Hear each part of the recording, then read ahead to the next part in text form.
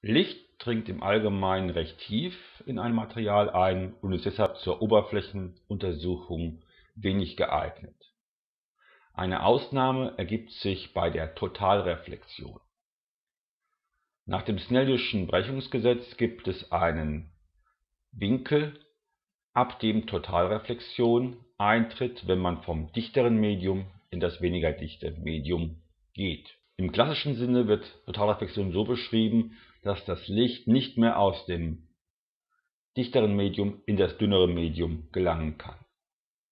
Dies ist jedoch nur eingeschränkt richtig.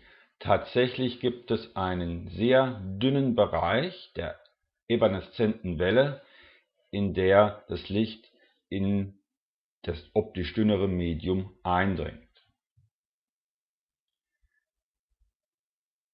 Diesen Effekt kann man ausnutzen, um in diesem Bereich der evanescenten Welle Messungen durchzuführen. Die Schichtdicke, die untersucht wird, kann man nach dieser Formel hier abschätzen. Es sind einige Nanometer. Will man die Methode der abgeschwächten Totalreflexion analytisch ausnutzen, so benötigt man ein Material, welches optisch dichter ist als die Probe, zum Beispiel ein Diamanten. Man presst die Probe, so gut es geht, auf diesen Diamanten, lässt dann Licht in Totalreflexion durch den Diamanten fallen und nutzt die evaneszente Welle aus, um Informationen über die Probe zu erhalten.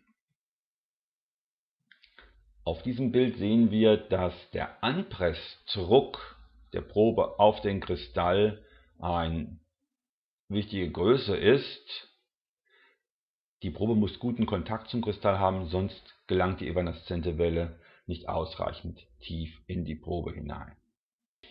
In einer Anwendung der ATR-Spektroskopie werden hier zum Beispiel pKw-Laufflächen in Abhängigkeit von der Zeit untersucht. In viele Infrarotspektrometer können wir anstelle des klassischen Strahlengangs mit Küvette ein ATR-Kristall einbauen und haben so die Möglichkeit, sehr einfach oberflächenselektive Messungen durchzuführen.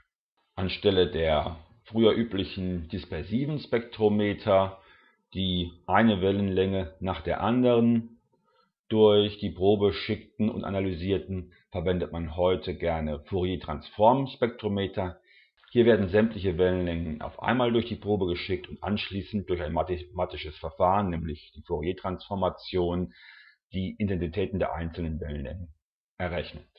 In der ATR-Spektroskopie nutzt man die Wechselwirkung der bei der Totalreflexion evaleszierenden Welle mit der Probe. Diese vermisst eine Schichtdicke, die kleiner ist als ein Mikrometer. Wir können feste und flüssige Proben messen, die Geräte sind erschwinglich, es ist eine robuste Methode, wir können die Proben schnell wechseln. Allerdings muss die Probe einen niedrigeren Brechungsindex haben als der ATR-Kristall,